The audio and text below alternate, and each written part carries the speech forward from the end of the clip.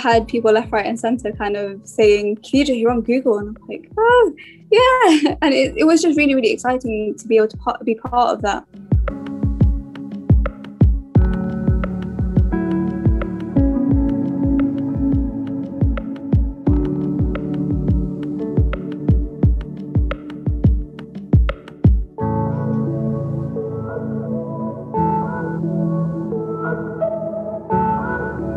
There was a little bit of that thought of how am I going to wear my hijab?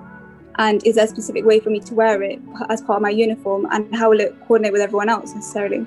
And so when I came into the force I was thinking maybe I should just ask someone or anything like that. But then when it came to my attention that this project came to light it was almost like the perfect timing really for me.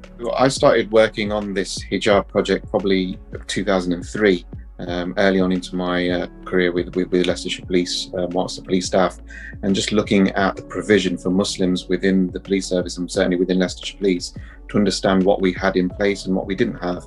It was quite different um, in terms of hearing about the fact that I was the first kind of frontline hijab wearing police officer and it did take me a bit by surprise, but it was something that was really, really exciting. And it was an opportunity for us to have someone who was going through training early into their into their career, who needed a hijab, and it was a perfect fit in that respect to get Khadija to, to trial it and do all the relevant health and safety testing.